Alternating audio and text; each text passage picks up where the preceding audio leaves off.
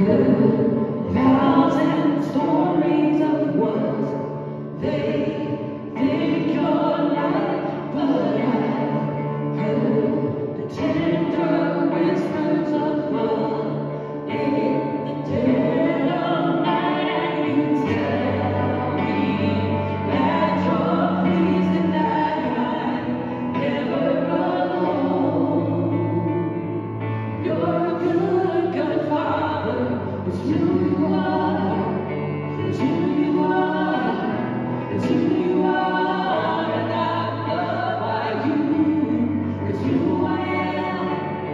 Cause you will, you will.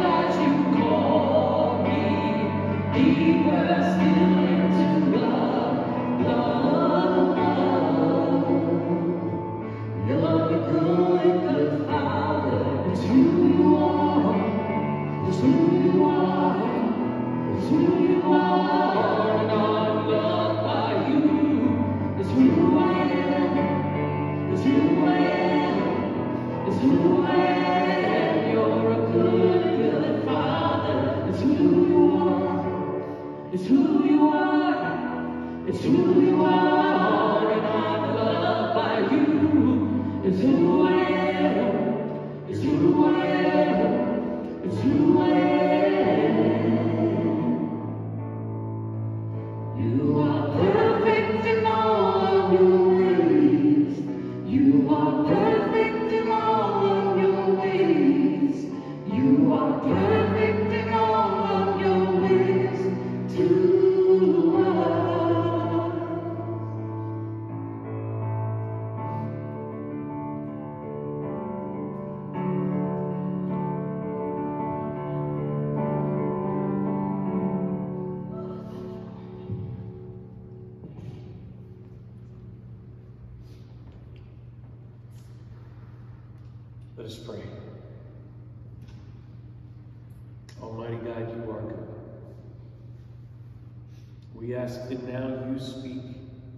your people. Amen.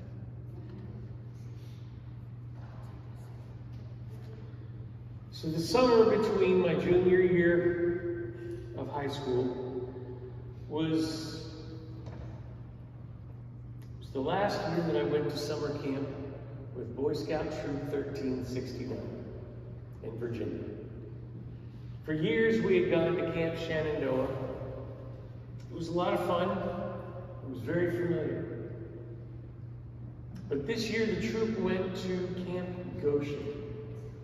And several of us were afforded the opportunity to go on a special backpacking camp that included all the different smaller camps within the larger Camp Goshen. It was called Len Hoc Trail. My scoutmaster and several of my assistant scoutmasters were Marines who served in Vietnam. Taking from his experience in Vietnam, he gave us a PG rated rendition of what he was told when it was time to get up, put on your pack, and move out. It was off and on, gentlemen. It's time to rock and roll. There was no discussion. There was no negotiating. There were no hurt feelings. Whether we wanted to or not, we got up, we put on our packs, and we moved out. It was time to rock and roll. As a group of veterans, I know that we've all received orders we didn't want to do. But our choices were do it or do it. Ananias had a similar situation. He resisted, God won. But before we get into the details, context. The previous chapter, chapter Acts chapter 8, carries us forward, carries forward the heinous persecution that Saul brought upon the church in Jerusalem. This caused many believers to flee to other places. One of those believers was Philip, who had great success spreading the gospel in Samaria. God then directed Philip to present the gospel to an Ethiopian official who was traveling back home. And now we pick up with Saul once again, who was still breathing out murderous threats against the Lord's disciples.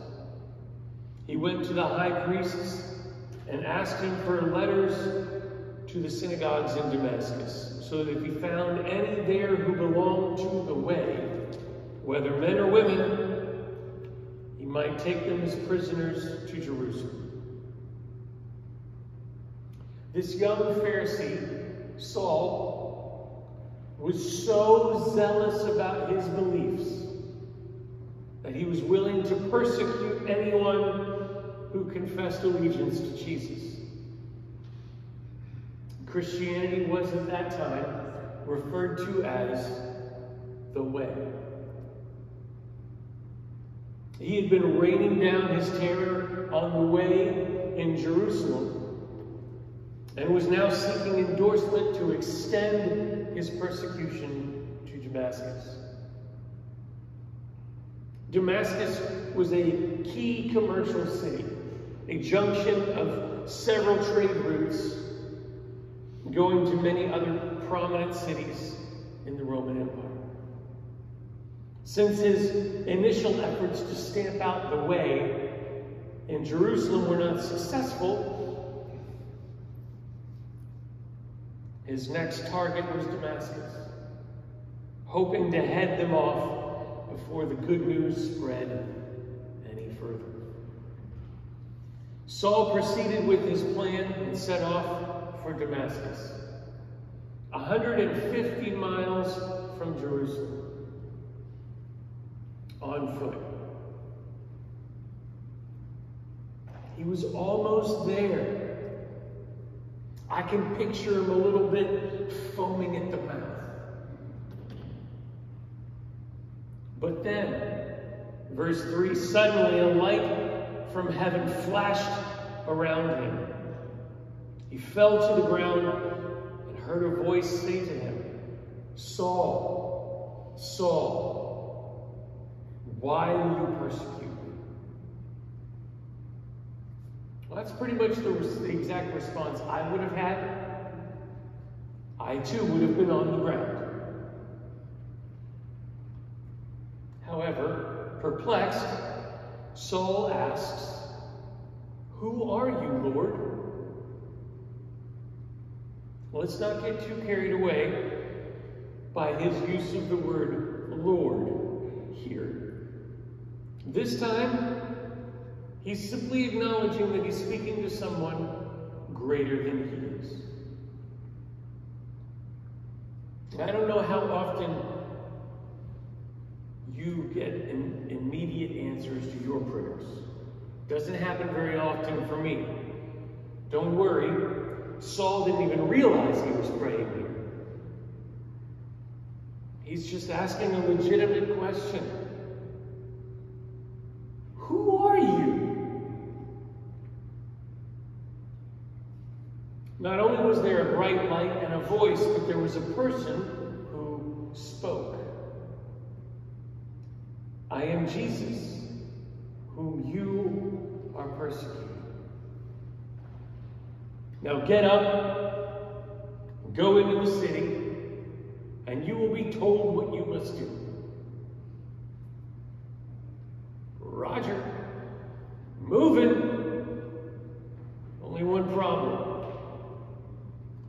Saul couldn't see anymore. We're told in verses 7 and 8 the men traveling with Saul stood there speechless. They heard the sound, but they did not see anyone. Saul got up from the ground, but when he opened his eyes, he could see nothing. So they led him by the hand into Damascus. Now, these men were likely the hired muscle Saul had brought with him.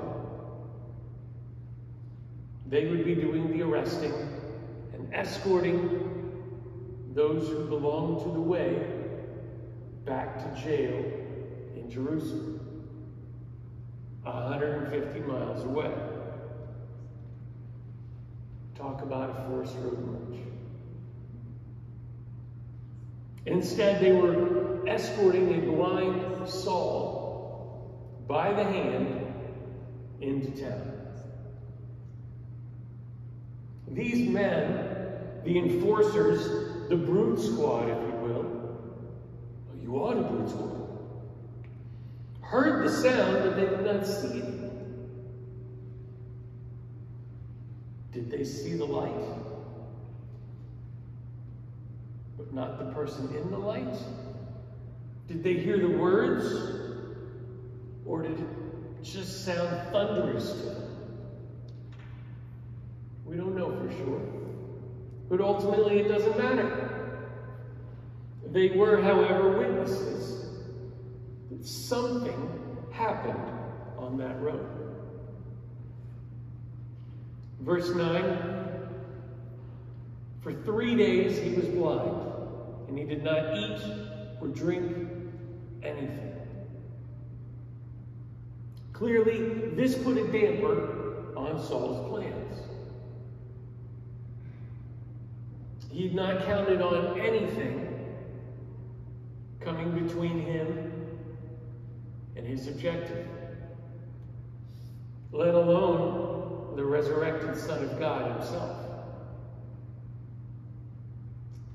I can picture him just sitting there, thinking, reevaluating some life choices in the darkness suddenly being blinded by the heavenly light. Now, enter stage left. A new character in this wild adventure story. Ananias receives a vision. In this vision, this disciple is called upon by the Lord. And he replies, Yes, Lord. I would like to point out the difference here between Ananias and Saul. Ananias knows who he's addressing. Yes, Lord. Saul asks, Who are you? Now, some would say that Saul accepted Jesus as Lord on the road. I would argue that Saul's roadside experience was the introduction. At some point during those three days of blindness, as he sat in darkness, is when Paul likely surrendered his life to Jesus as Messiah. Back to Ananias. Verse 11 The Lord told him, Go to the house of Judas on Straight Street and ask for a man from Tarsus named Saul, for he is praying. In a vision, he has seen a man named Ananias come and place his hands on him and restore his sight. Lord, Ananias answered, I've heard many reports about this man and all the harm he has done to your holy people in Jerusalem. And he has come here with the authority from the chief priests to arrest all who call on your name. Now I'm just thinking out loud for Ananias. I imagine what he's going through in his mind. What he kind of says here is probably something like, God, that boy can sit there in his darkness for all eternity. I ain't going. Verse 15. But the Lord said to Ananias, Go. This man is my chosen instrument to proclaim my name to the Gentiles and to their kings and to the people of Israel. I will show him how much he must suffer for my name. God does not seem to be in a negotiating mood. He says, Go. Now, Saul is a man who has zeal, he has fire, he has passion. He's willing to do what needs to be done to get the job done. This is exactly the kind of person God is looking for. We just needed to redirect him a little. Don't worry, he's not getting off scot free. He will suffer for my name. So, verse 17 Then Ananias went to the house and entered it. Placing his hands on Saul, he said, Brother Saul. In the Southern Baptist Church, you can hear, Brother Saul.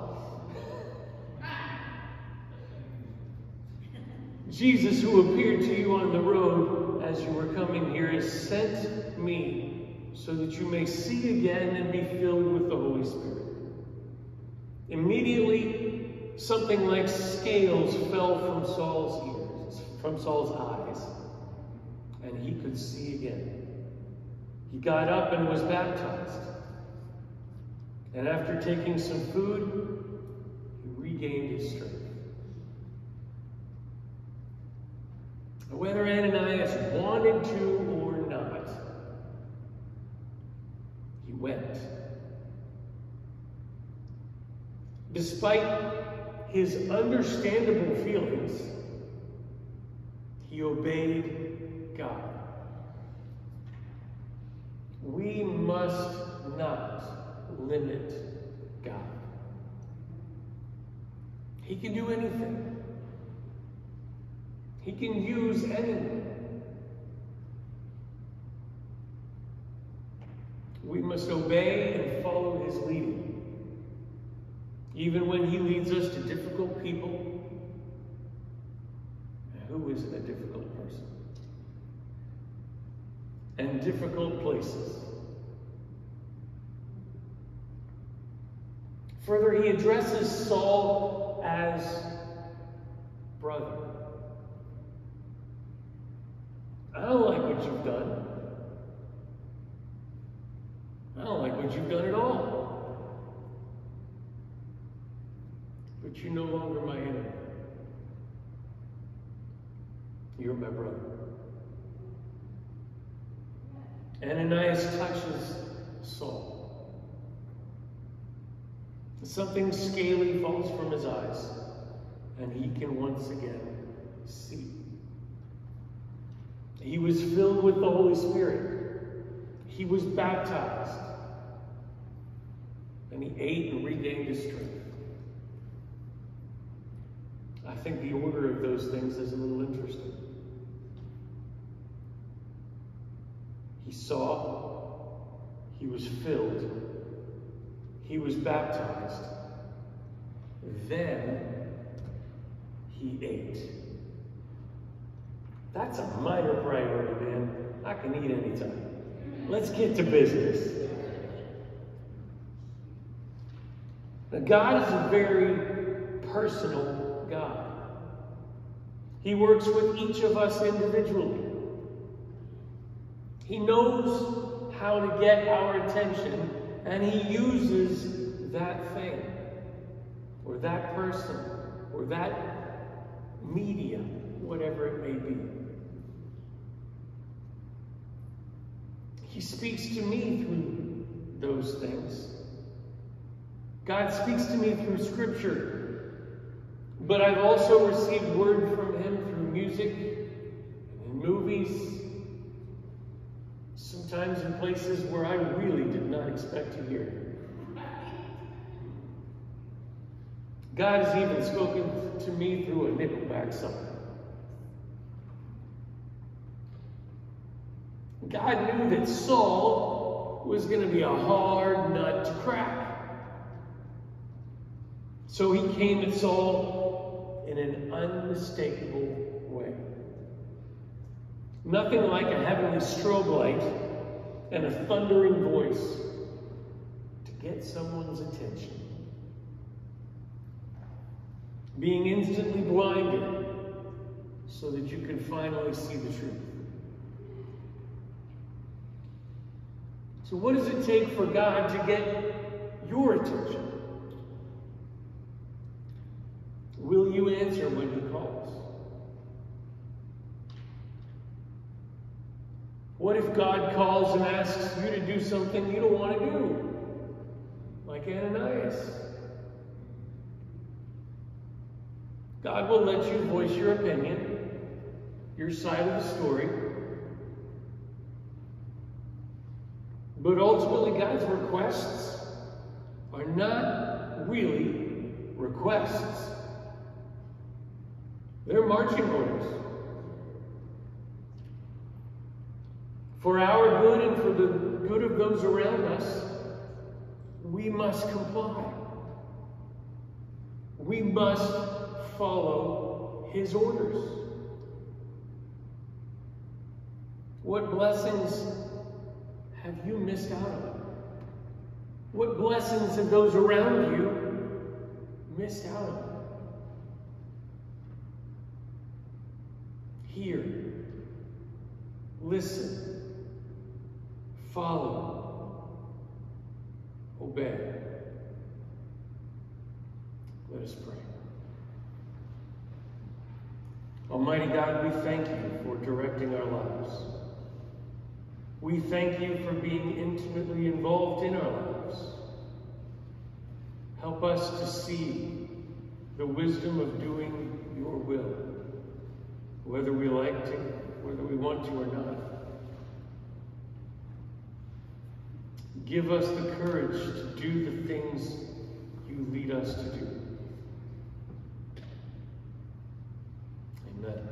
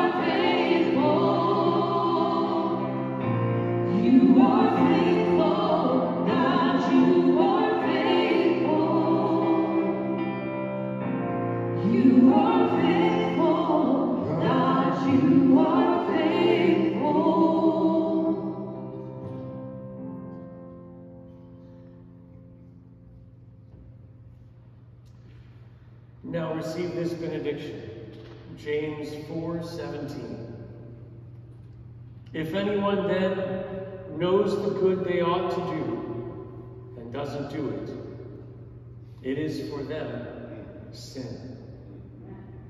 Help us to know the good we are to do and have the courage to do it. Amen.